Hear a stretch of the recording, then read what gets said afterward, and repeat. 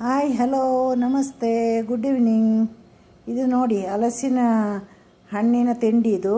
ಹಲಸಿನ ಹಣ್ಣು, ಬೆಲ್ಲ ಒಂದು ಗ್ಲಾಸ್ ಕುಚ್ಚಲಕ್ಕಿ ಎರಡು ಗ್ಲಾಸ್ ಬೆಳ್ತಿಗೆ ಅಕ್ಕಿಯಿಂದ ಮಾಡಿದ ಹಲಸಿನ ಅಪ್ಪ ಅಂತ ಹೇಳ್ತೀವಿ ನಾವು. ತುಂಬಾ ತುಂಬ ಟೇಸ್ಟಿಯಾಗಿರುತ್ತೆ ತೆಂಗಿನಕಾಯಿನೂ ಹಾಕಿದ್ದೀನಿ ನಾನು. ಇದು ಹೇಗೆ ಮಾಡೋದು ಅಂತ ನಾನು ನಿಮಗೆ ಹೇಳಿಕೊಡ್ತೀನಿ. ನೋಡಿ, ಎಷ್ಟು ಚೆನ್ನಾಗಿದೆ ನೋಡಿ, ಅಲ್ವ ಥರ ನೋಡಿ. ಸೂಪರ್ ತಿಂಡಿ. ಬನ್ನಿ, ಹೇಗೆ ಮಾಡೋದು ಅಂತ ನೋಡಿ ಬರುವ. ಹಲಸಿನ ಹಣ್ಣಿನ ಅಪ್ಪ ಮಾಡಲಿಕ್ಕೆ ಒಂದು ಗ್ಲಾಸ್ ಕುಚ್ಚಲಕ್ಕಿ, ಒಂದು ಮೀಡಿಯಮ್ ಗಾತ್ರದ ಗ್ಲಾಸ್ ಇದು. ಎರಡು ಗ್ಲಾಸ್ ಅನ್ನದ ಅಕ್ಕಿ. ನೋಡಿ. ಇದಕ್ಕೆ ನೀರು ಹಾಕಿ ಆರು ಗಂಟೆ ಅಥವಾ ಏಳು ಗಂಟೆ ತನಕ ನೆನೆ ಹಾಕಿರಬೇಕು. ಏಳು ಗಂಟೆ ಈಗ ನೆನೆ ಹಾಕಿರಲಿ ಇದು. ಈಗ ಹಲಸಿನ ಹಣ್ಣಿನ ಅಪ್ಪ ಮಾಡಲಿಕ್ಕೆ ನಾನು ಮೂರು ಗ್ಲಾಸ್ ಅಕ್ಕಿನ ನಾನು ನೆನೆ ಹಾಕಿದ್ದೇನೆ. ಇಲ್ಲಿ ನಾನು ಒಂದು ಬಟ್ಟಲು ಹಲಸಿನ ಸೊಳೆಯನ್ನು ನೋಡಿ ಕ್ಲೀನ್ ಮಾಡಿ, ಕಟ್ ಮಾಡಿ ಇಟ್ಟಿದ್ದೇನೆ. ಒಂದು ಬಟ್ಟಲು ಅಂದರೆ ಒಂದು ಮೂರು ಗ್ಲಾಸಿಗೆ ಲೆಕ್ಕ ಅದು. ಮೂರು ಗ್ಲಾಸ್ ಅಕ್ಕಿಗೆ ಮೂರು ಗ್ಲಾಸಿನಷ್ಟು ಹಲಸಿನ ಹಣ್ಣಿನ ಸೊಳೆ. ಹಲಸಿನ ಹಣ್ಣಿನಲ್ಲಿ ಸಿಹಿ ಇರೋದ್ರಿಂದ ಈಗ ನಾನು ಕಾಲು ಕಿಲೋ ಬೆಲ್ಲ ತಗೊಂಡಿದ್ದೇನೆ. ಇದನ್ನು ಹೆಚ್ಚು ಕಮ್ಮಿ ಮಾಡ್ಬೋದು. ಇದನ್ನು ಇವಾಗ ಬೆಲ್ಲನ ಪುಡಿ ಮಾಡಿ, ಮಾಡ್ಕೊಂಡಿಡೋಣ. ಈಗ ಬೆಲ್ಲನ ಪುಡಿ ಮಾಡಿ ಇಟ್ಕೊಂಡಿದ್ದೀನಿ. ಹಾಗೆ ಒಂದು ಕಪ್ಪು ತೆಂಗಿನಕಾಯಿನ ಹೋಳು ಹೋಳಾಗಿ ಕತ್ತರಿಸಿಟ್ಕೊಂಡಿದ್ದೇನೆ. ಇನ್ನು ಬೇಕಂದ್ರೆ ಚಿಕ್ಕದು ಮಾಡಿ ಕತ್ತರಿಸಿಟ್ಟಿದ್ದೀನಿ ನೋಡಿ ಇಲ್ಲಿ. ಐದು ಏಲಕ್ಕಿ ತಗೊಂಡಿದ್ದೇನೆ. ಈಗ ಅಕ್ಕಿ ನೆನೆ ಹಾಕಿ ಆರು ಅವರ್ ಕಳೆದಿದೆ. ಇದನ್ನು ಚೆನ್ನಾಗಿ ತೊಳೆದು ಒಂದು ಎರಡು ಮೂರು ಬಾರಿ ತೊಳೆದು ಒಂದು ಐದು ನಿಮಿಷ ಸೋಸಲಿಕ್ಕೆ ಅಂತ ಒಂದು ಸಣ್ಣ ತೂತಿನ ಪಾತ್ರೆಯಲ್ಲಿ ಇಡಬೇಕು, ಇದನ್ನು ಸೋಸಬೇಕು. ಈ ನೀರನ್ನೆಲ್ಲ ಸೋಸಿ ಅಕ್ಕಿ ಮಾತ್ರ ಉಳಿಬೇಕು. ಕಾರಣ ಹಲಸಿನ ಹಣ್ಣು ಮತ್ತು ಬೆಲ್ಲ ನೀರನ್ನು ಬಿಟ್ಕೊಳ್ಳುತ್ತೆ. ಹಾಗಾಗಿ ಅಕ್ಕಿಯಲ್ಲಿ ನೀರು ಇರಬಾರ್ದು. ಈಗ ನಾನು ನೆನೆ ಹಾಕಿದ ಅಕ್ಕಿನ ಮೂರು ಬಾರಿ ಚೆನ್ನಾಗಿ ತೊಳೆದು ಸೋಸ್ಲಿಕ್ಕೆ ಇಟ್ಟಿದ್ದೀನಿ. ಸ್ವಲ್ಪ ಎಲ್ಲ ನೀರೆಲ್ಲ ಬತ್ತಿರಬೇಕು ಇದು. ಈಗ ಸೋಸಿಕೊಂಡ ಅಕ್ಕಿನ ಮಿಕ್ಸಿ ಜಾರಿಗೆ ಹಾಕಿದ್ದೀನಿ. ಒಂದು ಚೂರು ಸ್ವಲ್ಪ ಉಪ್ಪು ಹಾಕಿ, ಬೆಲ್ಲದಲ್ಲಿ ಉಪ್ಪಿರುತ್ತೆ. ಈಗ ಹಲಸಿನ ತೊಳೆ ಹಾಕಿ ನಾನು ಎರಡು ರೌಂಡು ಸುತ್ತಿಸ್ತೀನಿ ಇದನ್ನು. ಈಗ ಅಕ್ಕಿ ಮತ್ತು ಹಲಸಿನ ಹಣ್ಣು ಸ್ವಲ್ಪ ಪುಡಿಯಾಗಿದೆ. ಈಗ ನಾನು ಬೆಲ್ಲ ಹಾಕಿ ರುಬ್ಬುತ್ತಾ ಇದ್ದೀನಿ. ನೋಡಿ, ಈಗ ಚೆನ್ನಾಗಿ ನೀರು ಬಿಟ್ಕೊಳ್ಳುತ್ತೆ.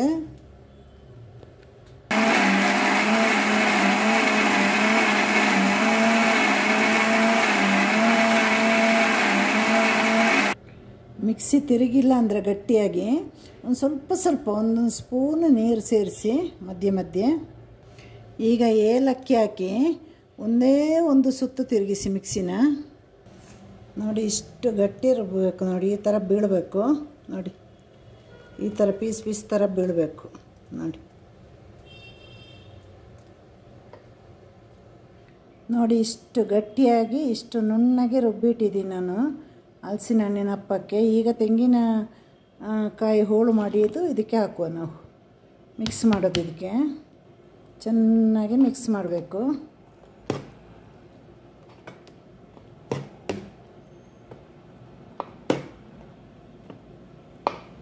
ಇದನ್ನು ಬಾಳೆ ಎಲೆಯಲ್ಲಿ ಇಟ್ಟು ಬೇಯಿಸೋದು. ಹಾಗಾಗಿ ಬಾಳೆ ಎಲೆಯನ್ನು ಬಿಸಿ ಮಾಡಿ, ಈ ಥರ ಸ್ಟವ್ ಮೇಲೆ ಇಟ್ಟು ಬಿಸಿ ಮಾಡಿ ಬಾ, ಬಾಳೆ ಎಲೆಯನ್ನು ಸ್ವಲ್ಪ ಮೆದು ಮಾಡಿ ಕತ್ತರಿಸಿಡಬೇಕು ಬಾಳೆ ಎಲೆನ.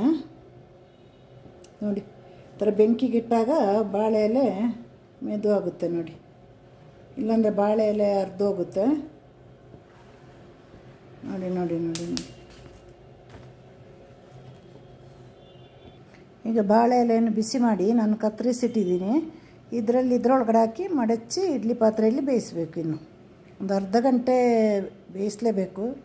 ನೋಡಿ, ಹೀಗೆ ಹಾಕಬೇಕು ಬಾಳೆ ಎಲೆಗೆ. ಒಂದೆರಡೆರಡು ಸೌಟ್ ಹಾಕಿದರೆ ಸಾಕು. ನೋಡಿ, ಹೀಗೆ ಕಟ್ಟಿ ಮಡಚಿಡಬೇಕು ನೋಡಿ ಇಡ್ಲಿ ಪಾತ್ರೆ ಒಳಗಡೆ. ಹೀಗೆ ಬೇಯಿಸಬೇಕು ನೋಡಿ. ಒಂದು ಅರ್ಧ ಗಂಟೆಯಿಂದ ಮುಕ್ಕಾಲು ಗಂಟೆ ಬೇಯಲೇಬೇಕು. ಇವಾಗ ಈ ಪಾತ್ರೆಗೆ ನಾವು ಟೈಟಾಗಿ ಮುಚ್ಚಬೇಕು ಇಡ್ಲಿ ಪಾತ್ರೆಯನ್ನು. ಗಾಳಿ ಎಲ್ಲೂ ಹೋಗಬಾರ್ದು. ನೋಡಿ, ಟೈಟ್ ಮುಚ್ಚಿದ್ದೀನಿ. ಈಗ ಬೇಯ್ತಾ ಇದೆ. ಒಂದು ಮೂವತ್ತರಿಂದ ನಲವತ್ತೈದು ನಿಮಿಷ ತನಕ ಬೇಯಲೇಬೇಕು ಇದು. ಈಗ ನಮ್ಮ ಹಲಸಿನ ಹಣ್ಣಿನ ತಿಂಡಿ ರೆಡಿಯಾಗಿದೆ. ನೋಡೋಣ ಹೇಗಾಗಿದೆ ಅಂತ. ನೋಡಿ. ಘಮ ಘಮ ಘಮ ಘಮ ಘಮ ಘಮ ಅಂತ ಅಂತ ಇದೆ ನೋಡಿ. ನೋಡಿ, ಹಲಸಿನ ಹಣ್ಣಿನ ತಿಂಡಿ ಎಲ್ಲರೂ ಮನೆಯಲ್ಲಿ ಮಾಡಿ ನೋಡಿ. ಎಷ್ಟು ಚೆನ್ನಾಗಿ ಬಂದಿದೆ ನೋಡಿ. ಹಾಗೆ ನನ್ನ ಚಾನಲ್ನ ಕೂಡ ಸಬ್ಸ್ಕ್ರೈಬ್ ಮಾಡಿ. ನೋಡಿ. ಸೂಪರ್ ಹಲಸಿನ ಹಣ್ಣು ಬೆಲ್ಲ ಹಾಕಿ ಮಾಡಿರೋದು. ನೋಡಿ ಹೇಗಿದೆ? ಎಲ್ಲರಿಗೂ ಟಾಟಾ ಬಾಬಾಯ್ ಸಿ ಯು